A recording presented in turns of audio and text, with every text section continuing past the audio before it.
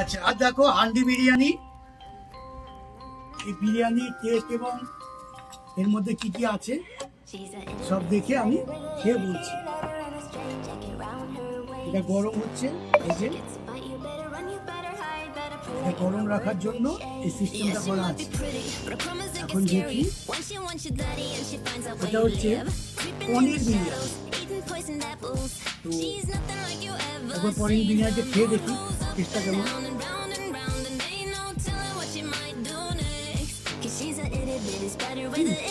Local পনির না এটা?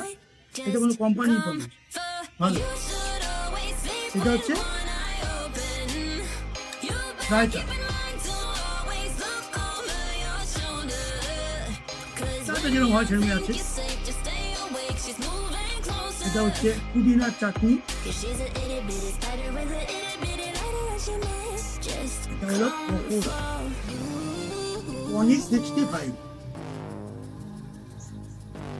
একদম যাই একটু চুলির মধ্যে আর এটা তো আমাদের সালাদ হিসাবে যে ব্যবহার হয় ঠিকই আছে তবে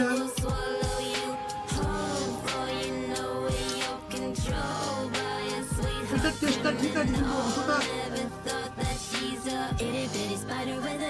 বিরিয়ানি একটা গন্ধ আছে, সে গন্ধটা খুব একটা নেই।